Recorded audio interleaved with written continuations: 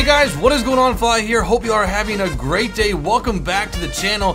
In today's video, we're be talking about the German battleship Bismarck. If you guys don't follow the news feed for World of Warships, this was posted yesterday, and pretty much it hints at the addition of the German Navy, or if you, if you want to be technically correct, the sorry if I mis mispronounced it, the Kriegsmarine, I believe, which was the navy of Nazi Germany that superseded the Imperial German Navy of World War One. Anyway, so in today's video, we are going to be talking about what the Bismarck was, why was it feared, and how she sunk. Hashtag spoiler alert. So pretty much the birth of the Bismarck was a treaty called the Anglo-German Naval Agreement in 1935, which allowed the German Navy to expand its ship's construction and tonnage. But in 1939, Hitler said fuck it, so in result, two Bismarck classes were laid down in 1936. The Bismarck itself and her sister ship, if I sorry mispronounce it, the Tirpitz. These things were very feared upon in that day and age. The main reason why this ship of class was so feared upon was its armor. Almost 40% of the Bismarck's displacement was armor, 12.16 inches in the thickest sections, or should we call that the citadel. The amazing thing about the Bismarck is that even with all that armor, she was still able to maintain 29 knots, which was 3 knots slower than the hood, but the hood weighed 6,000 pounds less with less armor. So a fun fact about the politics behind the uh, Kriegsmarine is that Hitler wanted the biggest, baddest thing possible, aka the Maus, aka the Jagdtiger, etc. I shit you not, he wanted to arm the next generation of ship classes, the H class, which would have been larger than today's Enterprise and Nimitz class nuclear powered carriers. Get this, with 800 millimeter guns or, or 31.5 inches. Like, let's let's be real. Anyways, onto the armament of the Bismarck. It had four turrets of dual guns clocked in at 38 centimeters or 15 inches. So there are some pros and a con of having four turrets with two guns.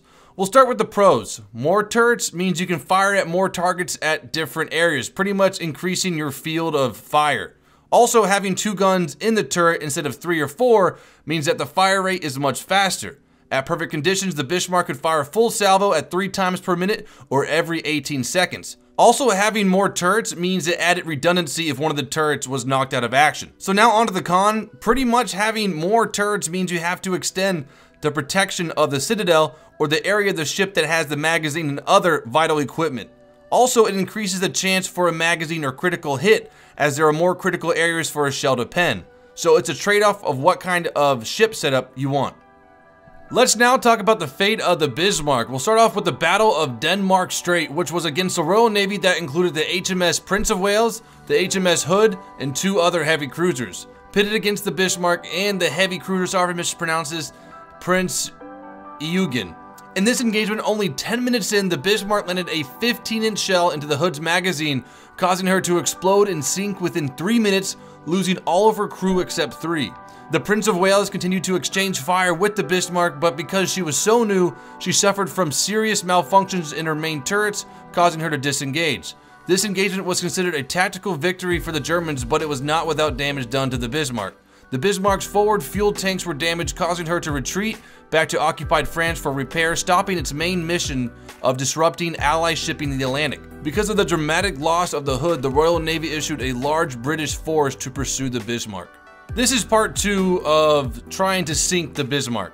The British force that was sent on the hunt consisted of one aircraft carrier, three battleships, three cruisers, and six destroyers against one battleship, the Bismarck. This is how critical the British felt about neutralizing this ship. So how the events unfolded is that the HMS Ark Royal, which is a beautiful aircraft carrier, sent out 15 swordfishes equipped with torpedo bombs to engage the Bismarck. On their way to the Bismarck, the swordfish pilots mistaken the British cruiser Sheffield for their target and dropped their torpedoes. Luckily, these torpedoes were fitted with unreliable magnetic detonators. Quick learning with Phly. The difference between magnetic detonators and contact detonators is that with the contact ones, it has to hit the target, and the magnetic ones will explode if nearby. Anyways, the Swordfish torpedoes had the unreliable magnetic detonators, therefore causing most to explode on contact with the water, and the ones that didn't explode, the Sheffield was able to evade them.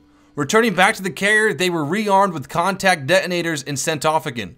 Finally, identifying the Bismarck, the torpedoes were released, and three had hit two impacted the forward engine room, and one striking the port steering room and jammed the rudder at 15 degrees left or port, thus making the Bismarck helpless in terms of maneuverability. At this point, the British force had now caught up with the Bismarck, and during the night, the six destroyers harassed it. However, no real damage was done. On the morning of the 27th of May, the helpless Bismarck was attacked by the battleship King George V and the battleship Rodney. By the way, the Rodney is a Nelson class, which is my favorite British battleship class. Anyways, after about 100 minutes, the Bismarck was sunk by the combined effects of shell fire and torpedo hits.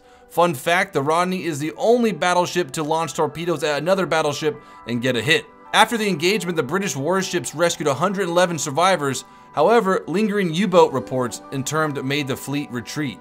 So that is it from me guys. I hope you have learned something in this video as well as enjoyed it. Thanks again for allowing me to hit 100k subs on YouTube. Without y'all crazy bastards, none of this would be possible. I sincerely thank every single one of y'all. Also in the comments below, let me know what ship you are most excited about. I can tell you right now, my favorite is already in game, and that is the Fuso, but another one I'm really excited about is the Royal Navy HMS Nelson. Alright guys, until next time, peace out.